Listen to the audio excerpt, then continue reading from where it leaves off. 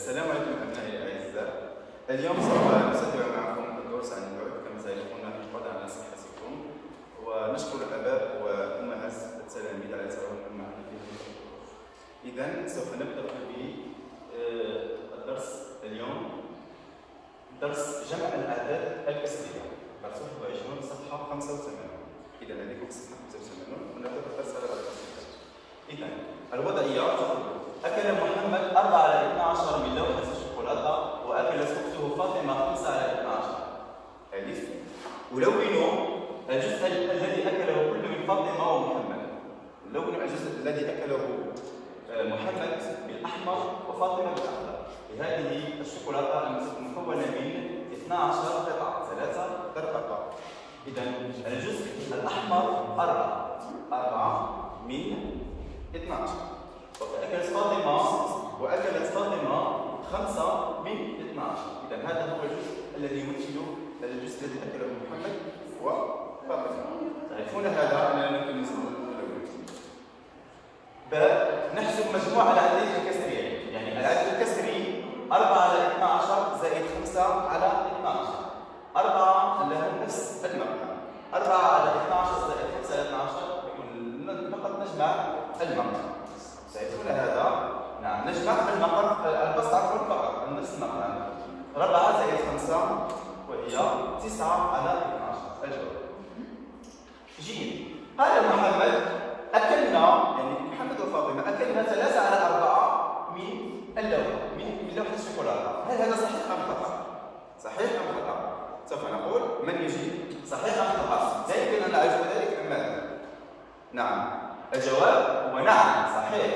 أكل ثلاثة على كيف عرف ذلك؟ نعرف ذلك على سبيل المثال كما قلنا في الدرس السابق الاختزال. دائما الاختزال نصل به إلى العدد المختزل. 9 على 12 مع 3 على 4 نعرف أن 9 من ضعف 3 و12 من ضعف 4 إذا 9 على 12 تساوي تعرفون أن 9 على 12 مضاعفة ديال 9 9 تساوي 3 ضرب 3 و12 تساوي 3 ضرب 4 هادشي درناه مزيان في الدرس السابق ديال ديال الاعداد الاكسريه تدربنا عليه في التعبير إذا 9 تساوي 3 ضرب 3 و12 تساوي 3 ضرب 4 لهذا نكتب 3 مقسومه اقسم على نفسها القسم المشترك بين 9 و 12 هو 3 نقسم على 3 في البسط والمقام والنتيجة هي 3 على 4 اذا النتيجة صحيحة. اذا قال محمد اكل 3 على 4 من اللوحة؟ صحيح. عندنا 9 على 12 هي 3 على 4 هذه الوضعية.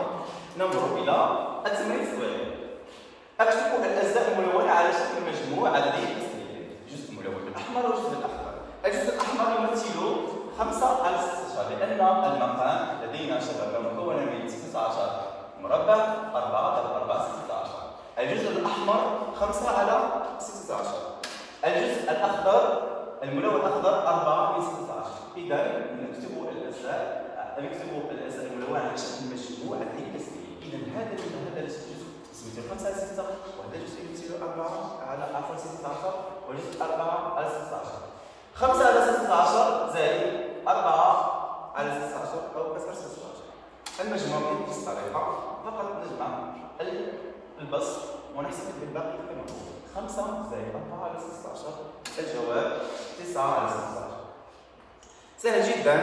تعرفون كسر نعرف أنكم لقد فهمتم الاعداد الاكسريه جيدا وهنا في الجمع الاعداد الاكسريه فقط نجمع البسط والمقام المطلوب تمرين تطبيقي لدينا ثلاثة ثلاثة تمارين تطبيقيه نقوم بجمعها 7 على 10 زائد 1 على 10 تساوي 7 زائد 1 نكون على 10 تساوي نعم 8 على 10 هذا العدد هذا الاختزال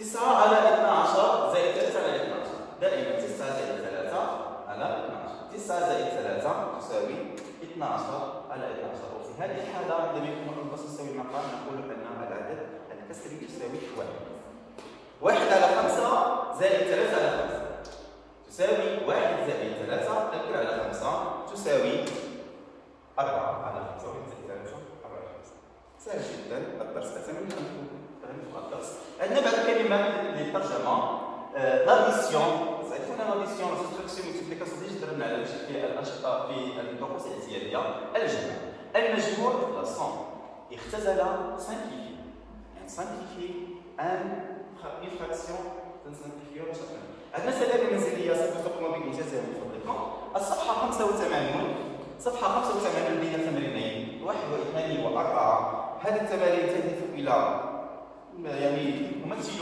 أعداد اكسريه على الاعداد الملونه على شكل عدد اكسري والصفحه 85 5 9 10 وفقكم الله وشكرا لكم.